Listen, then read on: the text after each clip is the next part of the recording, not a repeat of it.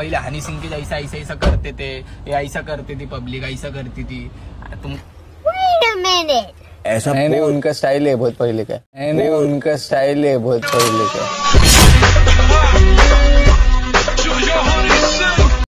So guys welcome back to another video तो MC stand पहले हनी पाजी के बारे में क्या क्या चीज़ बोले थे आपको भी याद होगा। लेकिन अब एमसी स्टैंड हनी पाजी की ओर आ गए हैं। बिग बॉस 16 में एमसी स्टैंड ने हनी पाजी की कैसे पक्ष लड़ी अब भी पहले ये वीडियो क्लिप देख लो। हनी भाई ने तुमको बोले कॉल करके कि अरे मैं डालता हूँ स्टोरी शाहरुख सर को हाँ फिर शाहरुख सर ये सच है? शाहरुख सर को तुमने हैं शाहरुख सर आए तेरे लिए।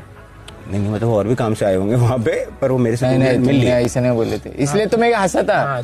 वो जो पोस्ट था वो मेरा डांस का एक स्टेप था। सर का पहले का है अपन ने वो ये जेस्चर करते हैं वो वो बोल रहा है। वो ऐसा नहीं नहीं उनका स्टाइल है बहुत पहले का वो ऐसा नहीं नहीं उनका स्टाइल है बहुत पहले का ऐसे नहीं ना वो ये करते हैं ना। वो ऐसे भी करता है ऐसे भी करता अच्छा ठीक है करते हैं। वेरी गुड मैं क्या कर सकता फिर तुमने उधर क्यों बोले क्या रे उनने मेरा देख के करा? क्या रे ऐसे नहीं बोला अरे मेरा पोस्टर देख के किया फिर उन्होंने मेरा कॉपी मतलब पोज मेरे लिए फ़ोटो के लिए। भाई कुछ ज़्यादा नहीं हो गया मतलब कुछ भी। सो इससे पता चलता है कि हनी पाजी और एमसी स्टैंड के बीच कुछ नहीं है सब कुछ क्लियर है। और हाल ही में हनी पाजी ने भी एमसी स्टैंड के बारे में कुछ बोला था अपने एक इंटरव्यू में।